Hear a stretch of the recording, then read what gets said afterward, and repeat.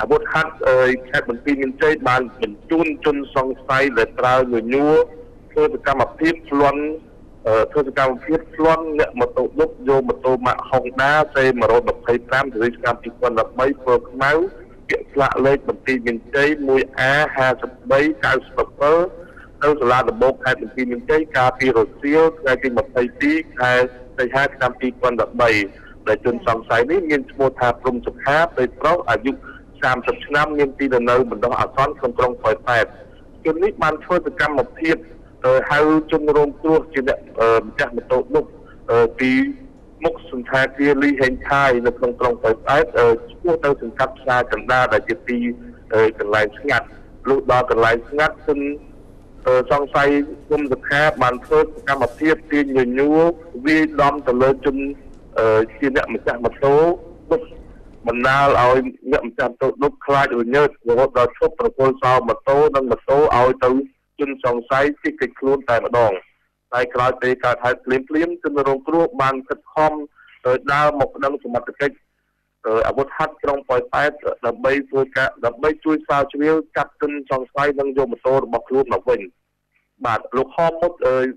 លេខបញ្ជាការអាវុធហត្ថក្រុងប៉ោយប៉ែតក៏បានឲ្យបណ្ដាញព័ត៌មាន ទូទួលបាយ័នដឹងផងដែរថាក្រោយពីទទួលបានព័ត៌មានពីជនរងគ្រោះនិងបាននាំជនរងគ្រោះទៅមន្ទីរពេទ្យសមត្ថកិច្ចរបស់លោកបានទំនាក់ទំនងជាមួយអាវុធហត្ថសុខក្រុងនានានៅទូទាំងខេត្តដើម្បីចេញអន្តរាគមន៍ស្វែងរកនិងទប់ស្កាត់នៅការរត់គេចរបស់ជនសង្ស័យដែលបានយកម៉ូតូរបស់ជនរងគ្រោះគេចខ្លួនមានភ្លាមនោះរយៈពេលប្រមាណជា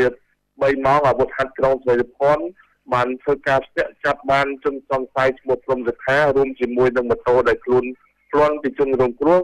មកទីបញ្ជាការអាវុធហត្ថខេត្តបន្ទាយមានជ័យហើយក៏បានអនុវត្តតាមនីតិវិធីនៃច្បាប់បញ្ជូនជនសង្ស័យទៅសាលាដំបូងរាជធានីសាលាដំបូងខេត្តបន្ទាយមានជ័យកាលពីរសៀលថ្ងៃទី22សប្តាហ៍នេះតែម្ដងគូបញ្ជាក់ផងដែរថារយៈពេលចាប់តាំងពីក្រោយបោះឆ្នោតសកម្មភាពចោលលួច និងសកម្មភាពស្លន់របស់ជនប្រព្រឹត្តល្មើសជាច្រើនបានកើតឡើងនៅក្នុងក្រុងសីផុននិងក្នុងក្រុងប៉ោយប៉ែតជាស្ដែងគឺការធ្វើសកម្មភាពលួចកំពីកំប៉ុកទៅតាមលំនៅឋានរបស់ប្រជាពលរដ្ឋក្នុងក្រុងសេរីសពតគឺមានការកើនឡើងត្រង់ព្រៀបដែលធ្វើឲ្យសមត្ថកិច្ចកំពុងតែមានវិធានការយ៉ាងខ្លាំងក្នុងការបង្ក្រាបនេះផងដែរ